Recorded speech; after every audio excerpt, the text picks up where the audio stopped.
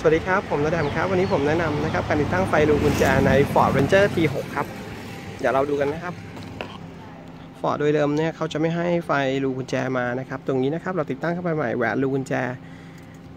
สามารถมีไฟได้ด้วยนะครับ เดี๋ยวเราลองกดล็อกดูครับ กดกดล็อกครับ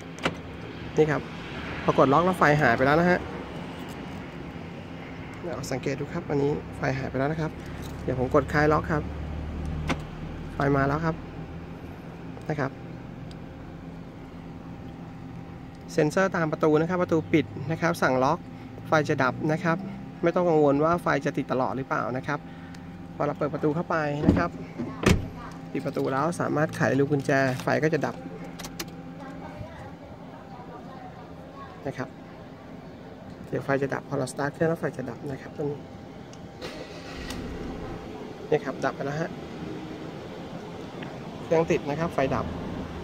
เราดับเครื่องปุ๊บดึงกุญแจออกไฟติดเลยครับนี่ครับสำหรับลูกค้าท่านใดที่ใช้ Ford Ranger อยู่นะครับสนใจติดตั้งไฟลูกกุญแจนะครับสามารถสอบถามรายละเอียดเพิ่มเติมได้ที่นาแดมครับ